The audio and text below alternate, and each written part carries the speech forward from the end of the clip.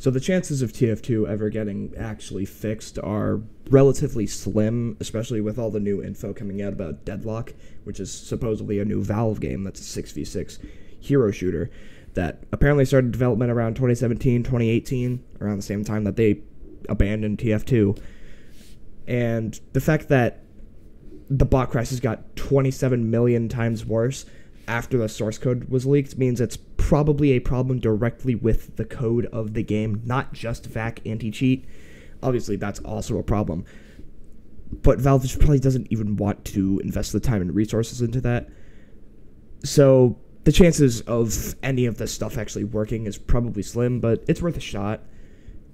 Um, but I have a different stance that I want to take on this that I don't think a lot of other people have taken, and it's mostly to do with Deadlock. Deadlock just kind of seems like a generic 6v6 hero shooter that almost looks like it's ushering a new era for Valve of creative bankruptcy um, and wanting money, which I mean, they've never not wanted money before, but this it, this just looks like a kind of a cash grab. So what I have to say is, look, Valve, money. You could get money from TF2 if you think about it. The economy, the economy. Ooh, yeah, I know you like that stuff. I know you like cold hard cash, gold bars, money, money, money. Hat economy, hats. Sell for money, for for money, for dollars and cents. You get money from these. You get money. I know you like money. You have your whole 30% thing with games on Steam. So I know you like money. I know.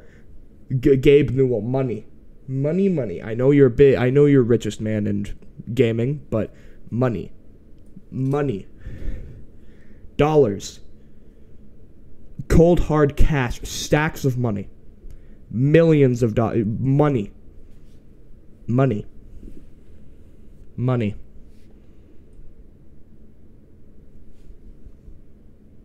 Do something.